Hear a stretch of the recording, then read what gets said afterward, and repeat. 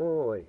Risen puuhanurkkauksessa tehdään tänään tämmönen pikkunen helppo projekti, minkä tarkoituksena olisi, olisi tällaiseen miinaharavaan eli metallin paljastimeen tehdä langaton yhteys laitteen ja noiden tuota, niin, niin, kuulokkeiden välille. Kun mitä nyt tässä nyt on tätä käytellyt, niin aina tulee tämmönen ongelma, kun, kun tuolla haravoitsee pitkin metsiä ja rupeaa piipitys eli jotain löytyy, niin aina pitää laskea toi, toi, toi harava pois käsistä siksi aikaa, että pinpointerin kanssa ja lapiolla kaivelee sitten tota niin, niin aarteen ylös. Ja sitten mä ajattelin, että tähän pitäisi saada joku systeemi, ettei, ettei aina ole sen piuhan varassa se viinaharava sen kun heittää maahan, niin se tahtoo aina nykästä tuolla korvat päästä tai ainakin höröt. Eli ruvetaan väkäämään tähän semmoista hyvin yksinkertaista, helppoa, halpaa, langatonta Bluetooth-yhteyttä. Okei, eli mulla on tässä nyt tämmönen, tämmönen kuin Garrettin Ace 250, ihan tämmönen perusharava. Ja mä teen sen nyt tähän, mutta, mutta sen pystyy tekemään käytännössä ihan mihin tahansa. Ihan mihin tahansa. Ainut laitevaatimushan tässä oikeastaan on, että on tuota niin toi kuulutin liitäntä. Tässä se on muistaakseni 6,3 millinen ja mulla on tota, niin, niin, noissa Bluetooth-transmittereissä 3,5 millinen toi liitäntä, eli me laitamme siihen vain adapterin väliin. Eli tämmönen pikkunen adapteri, mikä muuttaa ton 6.3 kolme puolikkaaksi. Ja asennus oli noinkin yksinkertaista. No ja tässä mulla on sitten vähän kilkkeitä tähän, että mistä tätä ruvetaan väkäämään. Eli tossa on tommonen Tämä on niin kuin ensimmäinen versio. Tämä on tämmöinen pikkuinen Bluetooth-transmitteri. Tämä oli, tämä oli niin kuin ensimmäinen, ensimmäinen versio, mutta tässä oli vaan semmoinen, semmoinen ongelma, että tämä tarvitsi ulkopuolisen virtalähteen. Eli pitäisi olla joku, joku tommonen laturi tai pieni akku tai jotain vastaavaa. Ja sit mä, tää toimii kyllä toki ihan hyvin, mutta mä hylkäsin tämän sen takia, että tuli vähän semmonen Grovin näköinen asennus, kun oli kaiken maailman virtapankkia sun muuta Jesarilla kiinni tuossa koneessa. Niin sitten mä ylkäsin tänne. Siihen oli tommonen kotelo, missä se kulki sitten. Toinen versio oli sitten tällainen, tämmönen pikkunen transmitteri. Itse on lähetin kautta vastaanotin, eli tää on, tää on vähän turhaa haitekkiä tämmöiseen hommaan. Että toimii kyllä ihan hyvin. Tätäkin mä käytin jonkun aikaa. Mutta, mutta sitten jossain vaiheessa törmäsin, törmäsin tällaiseen hyvin pieneen, joka on pelkästään tuota lähetin. Eli se riittää. Mä en tarvii mitään vastaanottoa sinne. Tässä on ainut probleemi tämän kanssa on, että tätä ei voi ladata samalla kun sitä käyttää. Eli tämä pitää ladata täyteen ja sitten se vaan, sitten se vaan käytetään. Tämä on ihan useita tuntia kestää, että harvemmin mä ainakaan jaksan kauhean kauan tuolla olla haravoimassa mitään rantoja tai metsiä. Että tää on, tää on ihan riittävä. Että mukanahan tässä tuli tietenkin tämmönen lappunen, pari piuhaa. Tää on vaan tää kuulokepiuha, niin tää on pikkuisen turha pitkä. Tietysti saa sitä johonkin nyrtittyä silleen, että se on nätisti siellä, mutta, mutta kaiken kaikkiaan mä sitten lainasin tästä, tämän toisen mukana tuli tämmönen pikkainen kuulokejohto, niin mä lainaan nyt tätä tältä ja laitan sen tähän. Ja tässä tuli myöskin sitten latausjohto mukana. Eli tää on, tää on itse asiassa tähän tarkoitukseen ihan kätevä ja sopiva. Ja nyt kun tätä tota, aina pitää silloin tällöin tietenkin ladata, Mä ajattelin, että no tämähän voi toki nykäistä tuosta vaikka kaksipuoleisella teipillä, teipillä suoraan tuohon johonkin miinaharavan runkoon, mutta mä ajattelin, että mä rakennan tähän nyt semmoisen pikkusen, pikkusen kotelo, jonka mä liimaan sitten tuohon tohon, tohon haravaan kiinni, niin tää on sitten helppo ottaa siitä pois ja käydä muualla lataamassa. Ei tarvii koko, koko metallin paljastinta vie välttämättä sinne latauspisteen ääreen. Että ottaa pelkästään tämän transmitterin ja lataa sen, mutta käydään rakentamaan sitten siihen tuota niin, niin se kotelo. Okei, eli mä tuossa mittailin sen lähettimen ja, ja mallinsin sen sitten tähän 3D sydämiin, eli se olisi vähän niin kuin tollanen. Tämmönen pienempi kotelo. Vielä laittaa siihen nimeä ihan huvin vuoksi, mutta kuitenkin tää on niinku tämmöstä lähdetään niinku rakentelemaan tossa. Eli nyt mä sitten siirrän tän tonne sliceriohjelmaan ja sitten tuota niin, niin tulostukseen ja katsellaan mitä hänestä tulee.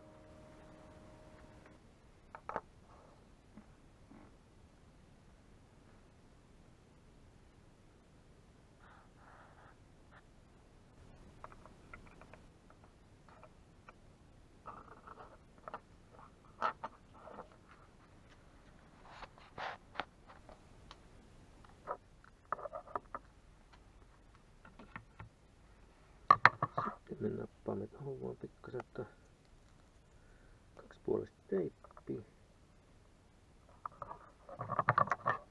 Tänne tietysti voi rakentaa tätä kotona semmoisen esimerkiksi, että sen saa tota niin, ruuilla kiinni tai jotenkin vastaavasti. Mä nyt teen tämmöisen hyvin, hyvin yksinkertaisen nopean No ja seuraava operatsioni onkin sitten yrittää saada tästä taas tää pentelee suojakalu. Ai se lähti näin helposti, vau. Tämä vaan lätkästää, pitää vaan katsoa, tämä osa tästä on irtoava, eli ei liimata sitä ihan siihen, vaan liimataan se vähän tänne, vähän tänne taaemmaksi. Niin voi sitten tähän itse aravaakin vaihtaa välillä pattereita, koska nekin on tuppaa välillä näköjään loppumaan keskenkin jopa. No, eli se on siinä. Sitten me ei tarvita mitään muuta kuin... Siis asennus on todellakin näin yksinkertaista. Meillä on tää piuha. Täällä meillä on adapteri. Laitamme piuhan tähän. Toinen pää tänne transmitteriin. Nyt se ei ole mitään muuta vaihetta kuin tuota niin, käynnistetään tuo transmitteri. Siis tämä Bluetooth-lähetin ja paritetaan se Bluetooth-kaiuttimien kanssa. Ja tää on tosiaankin tota niin, Mä kattelin, olikohan se nyt, no jollain sivulla kuitenkin, missä Garrettia myytiin, niin siellä oli toki valmis paketti tähän. Mutta sen hintahan lähenteli puolitoista sataa. En nyt ihan varmaan oliko jotain 130, mutta kuitenkin. Ja tämmönen systeemi, jos sulla esimerkiksi on valmiiksi Bluetooth-kuulokkeet, niin itse tää lähetin makso Suomesta ostettuna alle 12 euroa. Eli ei ole mikään kustannuskysymys. Ja kyllä se vaan tosi paljon helpottaa, kun ei tarvitse tuota niin, niin aina roikkuu siinä piuhan nenässä. Kyllä mä ainakin tuota niin, niin on tykännyt tästä ihan, ihan kuin Simo Hillosta. Kätsy. No tämmönen.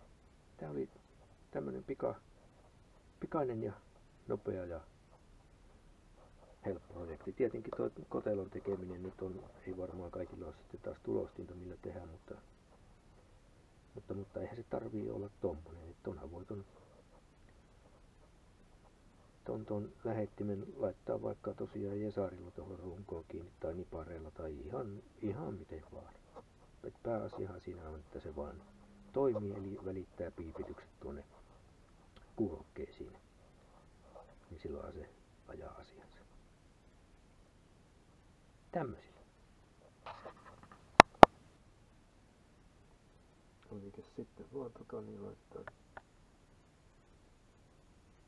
harava käynti tältä raakatettu betonilattia alla.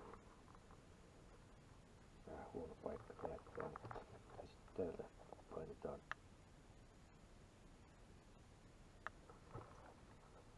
lähetin käyntiin. Sen jälkeen otetaan tästä höröt. Laitetaan ne käyntiin. Sieltä kuuluu kyrit.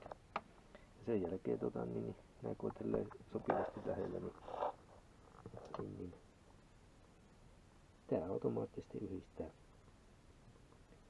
yhdistää Bluetoothina näihin näihin, näihin kuulokkeisiin ja sen onkin bueno. No.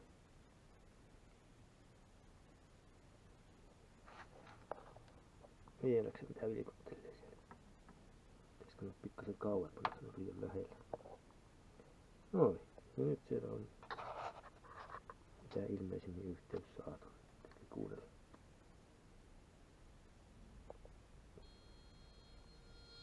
Joo sieltä kuulokkeesta kuuluu tämä piip, koska toi on toi haravan kela nyt tosiaan tuossa betoniraudotetulla betoniraudotetulla lattialla. Sieltä se kuuluu.